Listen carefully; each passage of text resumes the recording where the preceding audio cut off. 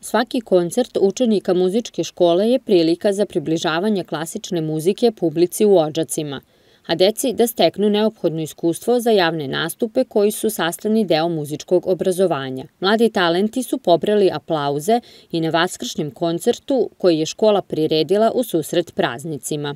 Muzika je zapravo deljenje emocija sa drugima i to treba deca da se naviknu, da se naviknu da je to e, lepota, da, da nema nikakvog razloga za neki strah, za neku tremu, jer svi zapravo pozitivno čekaju kako će oni da izvedu to što su izvežbali, a i to je neki, neka škola i za život generalno, da se suoče sa izazovima, nije to svakom prijatno, neka deca više uživaju u tome, neka ne, ali suoče se sa, sa tim izazovima i uspešno prebrode sa svojim profesionalnim officer.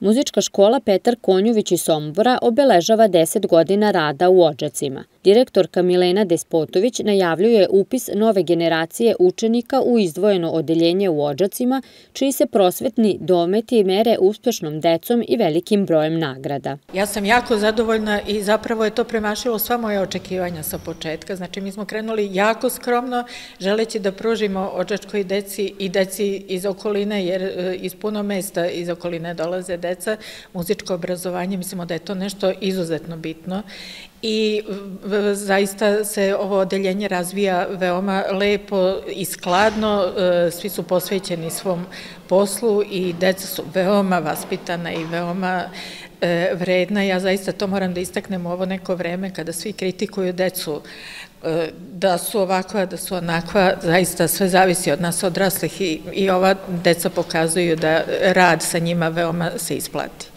Deca su izrazila želju da se vrlo brzo ponovo druže na ovaj način uz živo sviranje pred publikom, a mi se radujemo narednim koncertima kojih će prema rečima profesorke Jasne Panić biti još najmanje nekoliko do kraja školske godine.